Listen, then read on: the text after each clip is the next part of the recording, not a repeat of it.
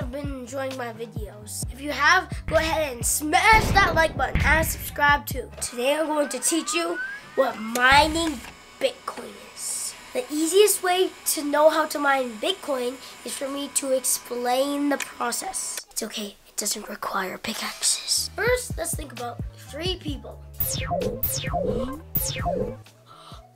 How do we know if person A sends a Bitcoin to person B? How do we also stop person A sending that same Bitcoin to person C?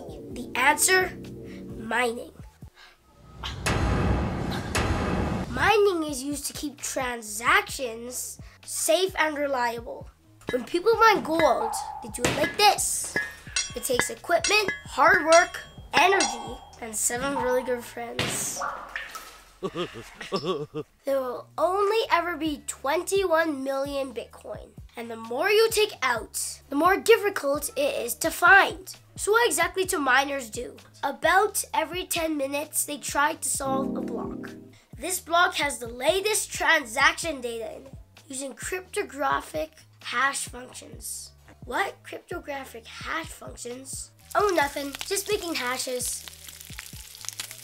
The goal of mining is to use your computer to guess until it comes up with a hash value that's less than whatever the target may be. If you're the first person to do this, then you have mined a block. Normally, this takes millions and billions of computer guesses. Whoever wins the block will get a reward. Just like mining for gold, you have to guess where to dig in this big mountain until you find gold. Same thing, except the computer miner is doing the work. We mine cryptocurrencies with similar stuff. First, you need your hardware. This is a computer that can run all day and all night. I wouldn't use your main computer because it would wear down fast. Lots of people use graphic cards. The computer has to do complicated math calculations. Second, get a digital wallet. Most are free, you'll have to sign up online. Or if you're smart, you'll have an offline wallet. I'll talk about that more in another video. Third, either join a mining group called a pool. What? Or do it alone. Fourth, download a mining program. Almost all of these are free. They run on the command line. If you never used code before, this could be confusing.